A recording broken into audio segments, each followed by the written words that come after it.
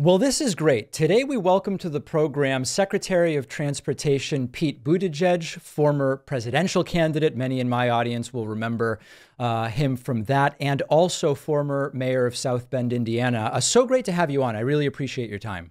Thanks for having me. I want to jump into something substantive and meaty right away rather than wasting time. So, listen, I drive a Tesla. I see Elon Musk saying crazy things on the platform formerly known as Twitter. I want to move off and move on to something different. The limitation that I and others experience is the charging network and the practicality of not having superchargers available. Talk to me a little bit about the traje- trajectory and path towards equalizing what is now probably the biggest advantage for Tesla. Yeah, there's no way we're going to have tomorrow's EV fleet working on today's charging network. The president's vision is 500,000 chargers around the country. We think that's what it's going to take uh, to really have the kind of support that we need. And that's everything from having chargers spread out along long distances, and our standard is uh, at least every 50 miles. You ought to be able to count on coming to a charger, but also in communities, in areas, especially think about multifamily dwellings where maybe it's not a high income area where it pencils out for a private company to make a profit putting in a charger. Uh, we need to buy down the difference there too. So that's what we're doing with the funding in the infrastructure law. We got $7.5 billion going into that. Now, alongside that, the privately uh, owned and fully privately funded chargers are going to be part of that. I thought it was a good step uh, when uh, Tesla agreed to open its supercharger network uh, using adapters to uh, some other cars. Uh, we're still in a period where there are different connector standards, but you can work through that by making sure there are different connectors on chargers. And then I think the most important thing that's being missed in, in a lot of the, the dialogue and debate about chargers is that most drivers, most of the time, will do most of their charging at home or at work. Again, this not available to everybody. Uh, but ironically, it's especially true in more rural areas and suburban areas that maybe politically haven't been considered to be the early adopters of EVs, but that's where it'll be easiest because you have more people living in single family homes, more likely to have garages. And in that sense, uh, charging a car will have more in common with charging your phone for many drivers uh, than it does with filling up a gas car. So every time I talk about this, a portion of the audience says, this is really great, David, and it all sounds lovely and chargers everywhere, et cetera. But in the discussion about electric vehicles, aren't we missing the discussion about public transit? Now, putting aside for a moment that many cities have moved to electric buses and we are seeing improvements, we do have this fundamental structural issue in the United States where we have elected officials from all over the country, including very rural areas, areas where the few cities that there are are very far apart who don't see what's in it for them or their constituents and their reelection to support spending on improving public transit. What is the approach in a country laid out the way the United States to do something? I mean, listen, I, I don't know that we're ever going to be. I was in Spain, the train system is quite remarkable. Italy, France, China. I don't know that that is a reasonable goal, maybe in the next 30 years. I don't know. But how do you broach the political problem to improve the public transit system?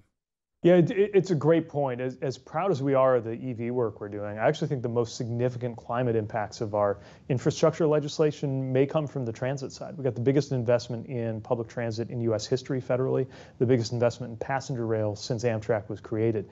And that's going to be critically important. And uh, I do think it's important to get out there that transit is not just about uh, a place like Manhattan, uh, it's not just about subways. Uh, small communities, mid-sized communities can benefit hugely if their transit system is capable of, of meeting people's everyday needs. And actually, whole new things have become possible in recent years thanks to things like micromobility uh, thanks to things like uh, uh, the ability to do the first or last mile, uh, e-bikes, things like that, that kind of fit into a bigger picture of mobility than we had when a lot of these transit systems and their hub and spoke models were set up in the first place. Uh, so we have to do both at once, right? We have to reduce the, the uh, environmental impact of existing modes of travel from aviation to, to driving a car. And we have to create more good options for more Americans to take more of their trips using transit. And uh, I, I, think it's less about pushing people into it and more about improving the options. That means reliability, that means frequency, uh, that means look and feel, it means the reality and the perception of safety. Uh, in public transit. We're working all of that. And again, the, the, good news is we have funding to do it. So the other piece that you mentioned is uh, trains and catching up to our peer countries in that regard. And, and, and my view, at risk of sounding nationalistic, is if a Spanish citizen or a Chinese citizen can count on high-speed rail, uh, an American citizen ought to have the same options or better. Uh, obviously, that's not true right now. And no, we can't uh, overnight build uh, a high speed rail network that's nationwide, but we can take some of the funds in the president's infrastructure package and use them to help deliver high speed rail on American soil. And I think if we have it, even in just a handful of geographies in the US, seeing is believing. And it will pave the way, so to speak, for more people to expect and demand it as an option alongside air travel, alongside uh, vehicle travel uh, to get to where you need to be in this country. So you talked about design, experience, feel, all of these different things. I'm curious what your view is, or as a representative of the of the Biden administration, what the view is on the role of the private sector in public transit. And the context of this is that for all of my many criticisms of Tesla and Elon Musk, they did put pressure on the legacy manufacturers to much more quickly start bringing these electric vehicles to market rather than to slow play it and necessarily suck every dollar out of internal combustion engines. So, is there a role in, I don't know if it's the Hyperloop or whatever other example, but what do you think the role of private industry should be in public transit? Uh, well, I think that uh, anytime a new technology comes along or uh, a new approach comes along, that can really transform transit in a way that's beneficial. Uh, and sometimes that, that comes with some healthy pressure to keep up. Uh, whether that's something like a Hyperloop concept or uh, it has to do with what, what, I consider to be the most disruptive transportation technology the last 15 years, which is actually not a vehicle, it's the smartphone. Uh, there are lots of things that have come along that do change the possibilities for transit. And I'm especially interested in, in things that can, in some small to middle density communities, really replace the need for uh, kind of hub and spoke system with very few uh, riders that, that can cost, uh, you know, 5, 10, 15 bucks per passenger per ride in terms of the system, uh, with something that, that is still part of transit, but a little more nimble, a little more adaptable, a little more likely to be on demand. Uh, I've seen places like Kansas City uh, working with technology to introduce that. And I think in the near term, that's very exciting. Uh, it may be that, uh, that, that, that, transit will look different and operate uh, differently in all but the uh, biggest, densest cities that are uh, of a scale to support a subway. Um, and we should lean into that and support it. When it comes to electric generally, so this is vehicles, but also personal vehicles, but buses, etc. I'm curious whether, in terms of the conversations you're having with people, you currently see electric as a bridge fuel source or technology maybe to hydrogen or something else, or whether you actually see it as a potential endpoint for a longer period of time? So I think uh, a slight but valid simplification here is the bigger the vehicle, the more you're going to see a diversity of uh, fuel and propulsion sources for the future. In other words, hmm. light duty vehicle uh, uh, car, uh, I really think that EVs are going to be the, the way that these things work for the next century. Again, the advantages of many people being able to uh, easily charge them at, at home or at work. It's what Chasten and I do. We have a plug-in uh, hybrid electric minivan. Never thought I'd be a minivan person. Then we had we had twins and, and life changed. Uh, we just plug. We don't even have. we, we should probably get one. We don't even have one of those uh, level two chargers. We just literally plug it into the wall. Yep. And I think a lot of Americans don't realize that's already possible for, for many of them. Uh, so it's hard to beat that. And the other advantage of electric is it actually gets less carbon intensive over time because the uh, generation mix of this country is growing in terms of renewable energy. So, however much cleaner it is than gas today, uh, that actually improves even with the same car uh, year after year.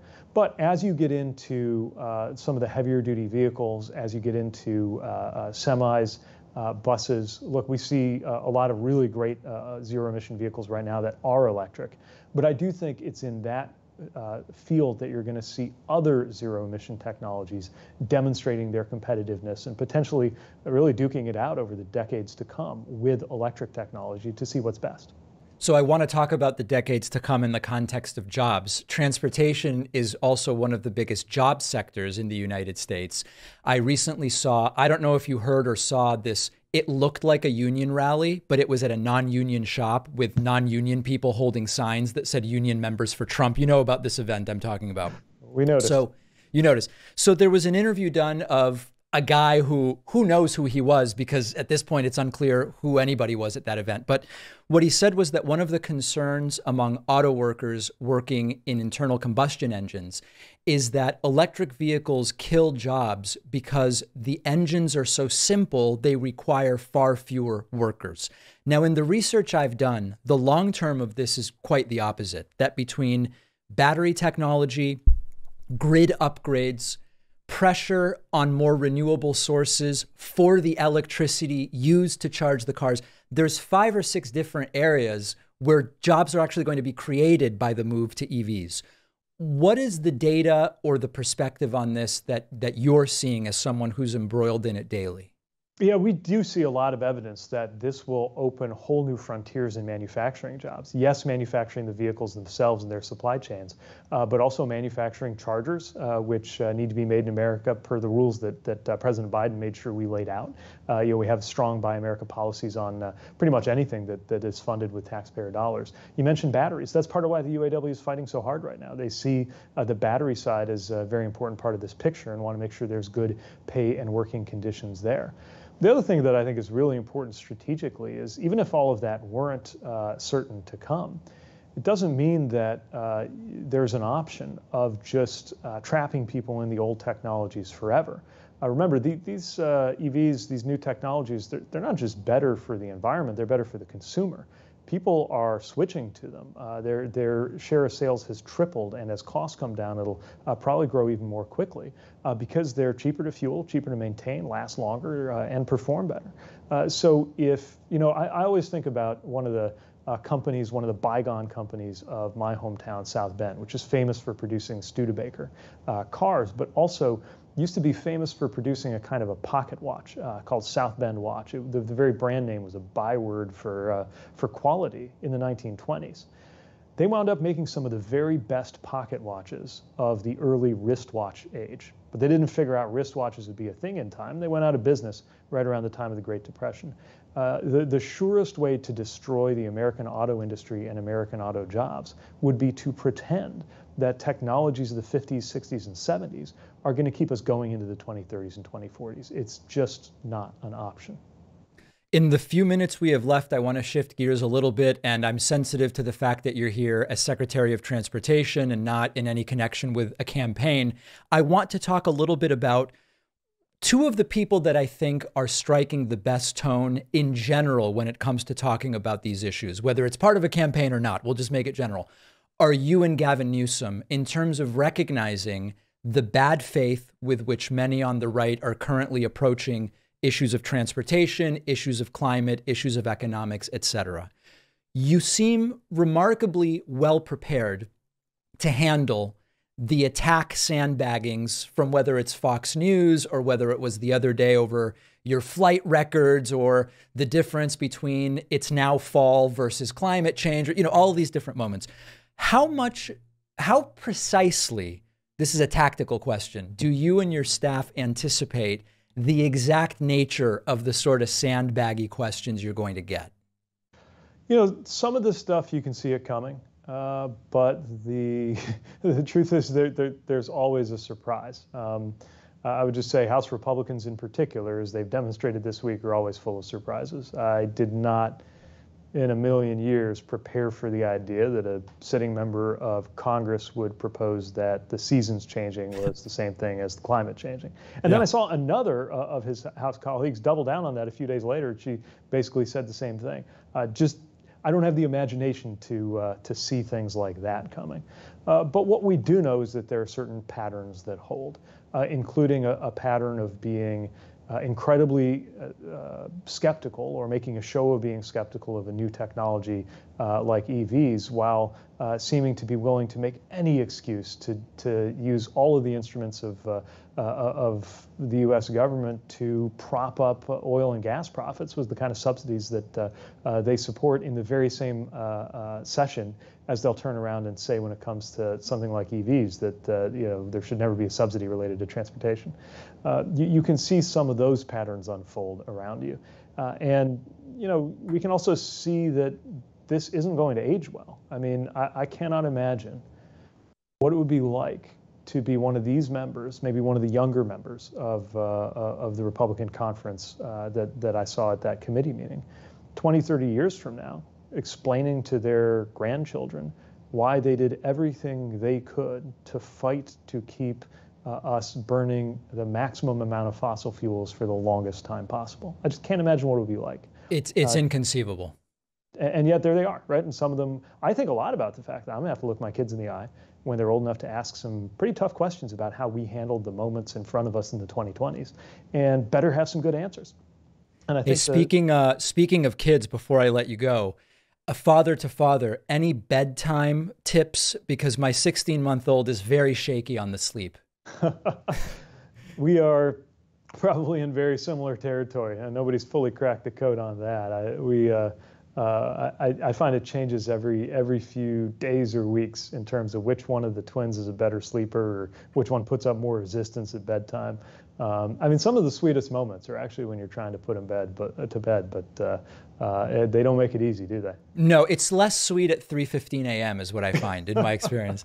Uh, Mr. Secretary, we've been speaking with the Secretary of Transportation, Pete Buttigieg. Really appreciate your time uh, and your insights today. Same here. Great speaking with you. I appreciate it.